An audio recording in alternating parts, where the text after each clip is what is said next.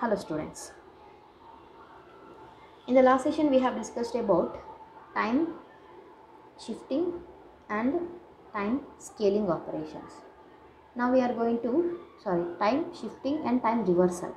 Now we are going to discuss about time scaling. That is time scaling. So time scaling may be time expansion maybe time expansion or time compression. So time means on x-axis. On x-axis we are having the signal. Scaling means either either expansion or compression. Okay. The time scaling of a x of t signal x of t can be accomplished by replacing t with at. Maybe here y of t is equal to x of at. So this is a time scaling format. Here a may be greater than 1, a may be less than 1. Okay. So what will happen if a is greater than 1 and what will happen if a is less than 1 we'll see. So if a is greater than 1 it results in time compression. If a is less than 1 it results in time expansion. So I will do with an example. Consider one problem x of t like this. So this is minus 1, 0, 1, 2, 3 having the magnitude 4 and this is x of t. For this signal x of t we have to draw time expansion and time compression. Okay? That is x of at by considering a value as less than 1 and a value as greater than 1 here i am considering a as 2 that is x of 2t okay?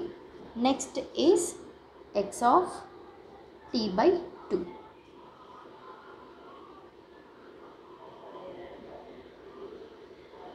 are you getting? If a is equal to 2 if a is equal to 2 it is 2t if a is equal to 1 by 2 it is x of t by 2 it is less than 1 1 by 2 means less than 1 0.5 2 is nothing but greater than 1 okay? A is greater than 1 will get compression. Less than 1 will get expansion. So how means we'll see now so this is x of t. For this i have to draw x of 2t and x of t minus 2 so here for a compression x of 2t the time compressed signal can be obtained by here from t is equal to minus 1 to t is equal to 0 minus 1 to 0 we are having a linear signal linearly increasing signal with some slope. In between 0 to 2 we are having constant signal. And next in a later interval 2 to 3 we are having a decreasing signal. That is from 4 to 0 here it is 0 to 4 so here how to get x of 2t so i can say that x of 2t is compressed version. So how to get this compressed version of a signal? So wherever you are having t value you have to do it by 2 if we are having here x of 2t actually what you have to do if you got multiplication here for each and every t, t values you have to do the division. If you got the division here you have to do the multiplied version. Okay? Here i am having x of 2t means wherever i am having the t value there you have to do the division with the, the given factor. 2 minus 1 by 2 0 by 2 1 by 2 2 by 2 and 3 by 2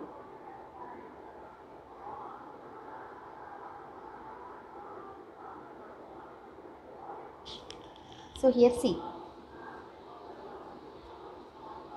Minus 1 by 2 means minus 0.5 next 0 by 2 will give us 0 only.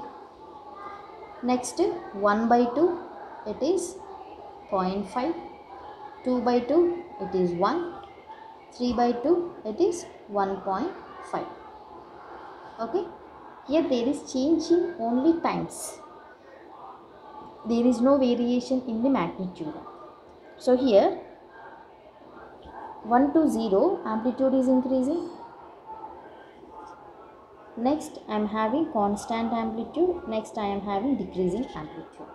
So this is 4 itself and this is compressed version because here actually the given signal involves the uh, limits from minus 1 to 3 but here it is minus 0.5 to 1.5 and what about this x of t by 2 as i already told you if we are having t by 2 what you have to do? You have to do the multiplication. Okay? So multiplication version of x of t and with uh, which factor you have to do multiplication? Whatever the given factor that is 2 so wherever one is there you have to multiply it with the 2 so i will get minus 2 0 2 4 6 like this. But the magnitude will not change. Magnitude will be same.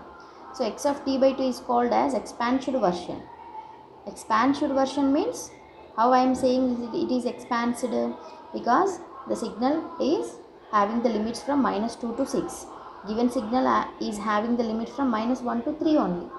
It is expanded. If i take the x of t by 2 so this is time scaling.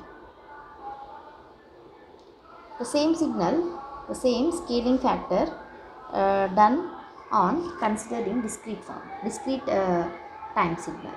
So here i am considering a discrete time signal like this minus 4 minus 3 minus 2 minus 1 0 1 2 3 4 so here i am having the signal values in between minus 3 to plus 3 which is having the magnitude 4 next for this minus 2 and plus 2 I am having the magnitude 3 and for this minus 1 and plus 1 I am having the magnitude 2 and for this 0 value I am having the magnitude 1 for this x of n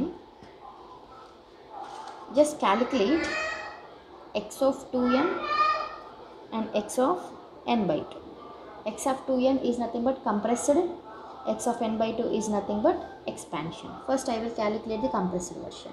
So if i am having 2n for example okay just consider 2n if i am having 2n wherever uh, the n values are there on n axis you have to divide with the 2 or simply i can say that you have to consider every second position of n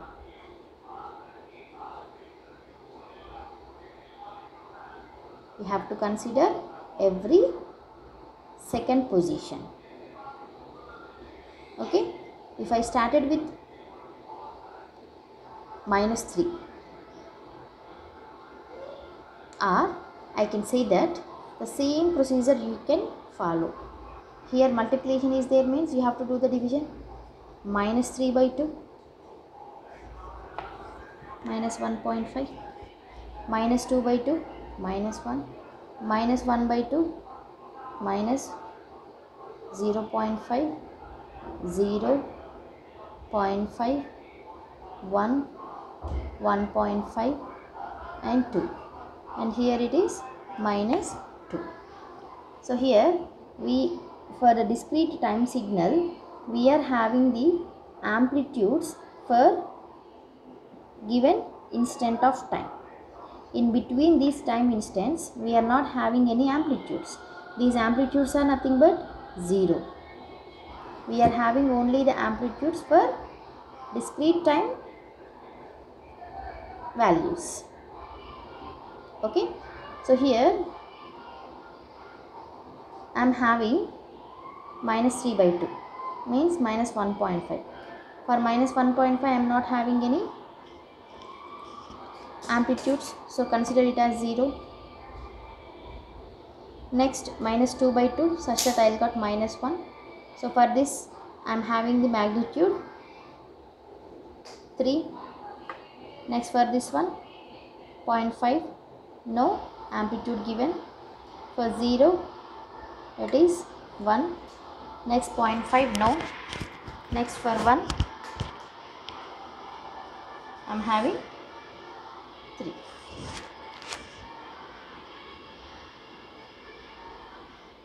so you have to consider every second position of n. First position left second position considered. Next position left next position considered. Left considered. Left considered. So if i consider x of n by 2 n by 2 means? N by 2 means? Here wherever n value is there you have to multiply it with the 2 if I multiply it with 2 minus 6 minus 4 minus 2 0 2 4 6 8 and here it is minus 8 okay? So for 6 I am having 4 next 4 I am having 3 for minus 2 I am having 2 next 0 I am having 1 next 2 I am having 2 next 4 I am having 3 6 I am having 4 and what about these middle values? Minus 5 considered as 0 minus 3 considered as 0 minus 1 considered as 0 1 3 5 7 so here all are 0 because we are having the amplitudes for this instance only. In between the instance there is no amplitude given. That's why we have to consider them as 0 okay? So or simply i can say that x of 2n means we have considered every second position. For x of n by 2 we have to add extra position in between the samples. See 4 3 i have added. 3 2 i have added 0 why 0 because there is no samples in between the given instance. X of 2n compressed means every second sample we have to delete. X of n by 2 means expanded version we have to add. We have to add every second position. First second position added. First second position added. First second position added. Okay? So this is known as interpolation and this is known as decimation. Decimation is nothing but decreasing. Interpolation is nothing but increasing. And these are the concepts we will discuss in the next sessions clearly. What is interpolation? What is decimation so first this is the operations on discrete time signals. X of 2n compressing means every second position is deleted. If x of 3n is there every third position is deleted. We'll consider first to two third is deleted. Third is deleted. Third position deleted. And here we'll add positions. Here we'll delete positions. X of n by 3 x of n by 3 means for every third position we have to add one element. Okay